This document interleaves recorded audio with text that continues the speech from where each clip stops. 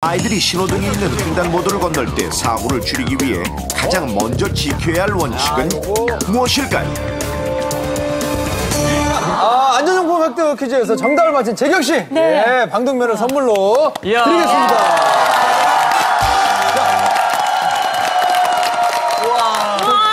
재경 씨, 그 마네킹 다시 줘, 주세요. 방독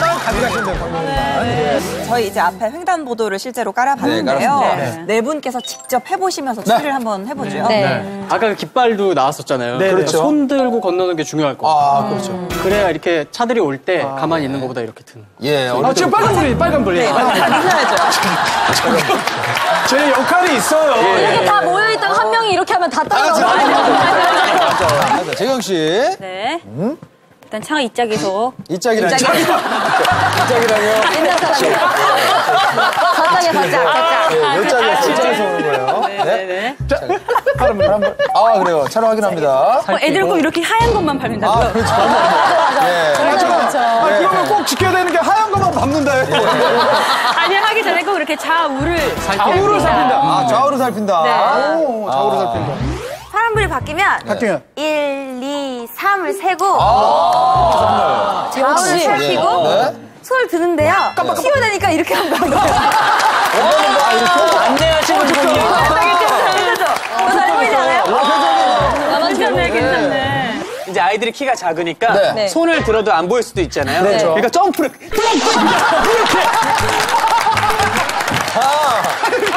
아니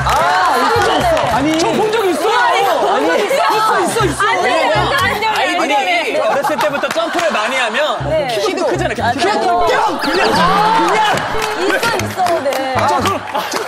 왜냐면 선전판이 자극이 되기 때문에. 어, 있어요. 몸도 잘하는 아이. 이번 문제는 답을 하나를 모아주셔야 그래요. 돼요. 하나 더 주셔야 돼요. 이건 다 석죠, 그럼.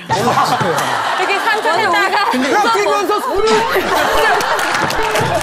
아, 저는 어렸을 때 대각선으로 뛴다고 생각했어요. 어? 차가 이쪽에서 오니까 저쪽으로, 저쪽에서 오잖아요. 이렇게 대각선으로. 오, 말 된다. 그럼 대각선으로.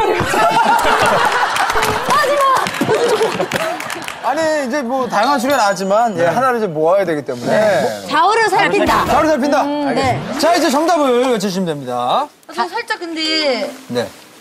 입이 마중 나와 있는 입인데 입만 마중 나와 있는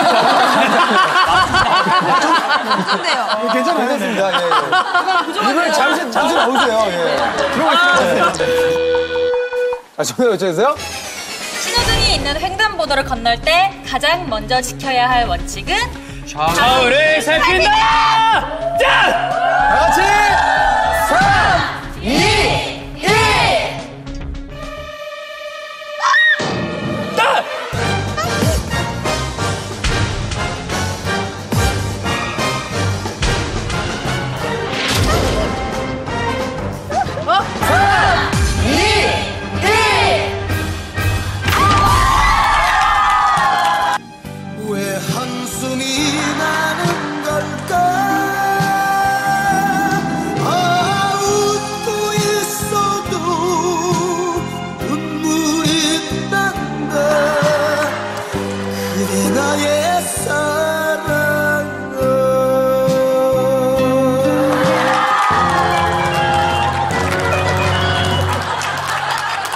안 맞았어.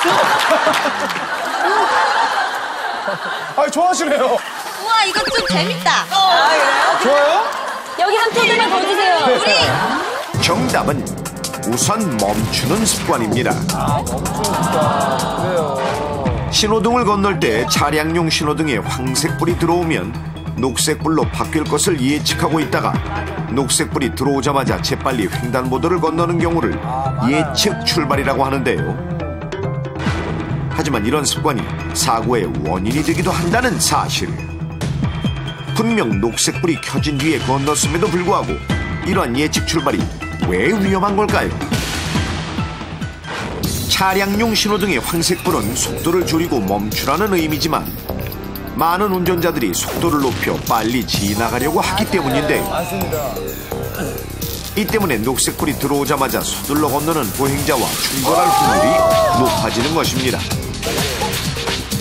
초등학생 교통안전을 위한 교재에도 우선 멈춤의 중요성을 알려주고 있는데요. 자, 실제 신호등 앞에서의 예측 출발을 관찰해 보기로 했는데요. 서울에 위치한 초등학교 앞 횡단보도 신호를 기다리면서 장난을 치는 모습이 아슬아슬해 보입니다. 마음이 급한지 차도 아래까지 내려와서 신호가 바뀌자마자 손살같이 뛰어가는 아이들. 왜 그럴까요?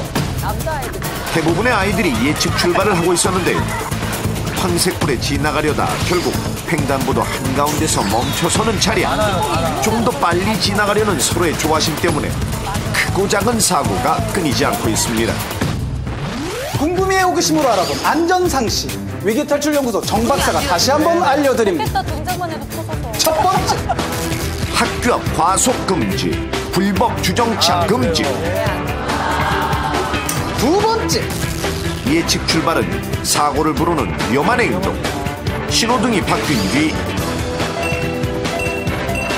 3초의 여유를 갖습니다.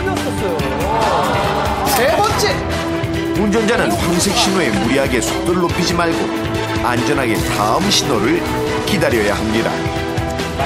이로써 이번 주 위기 탈출 연구 석세스! 好。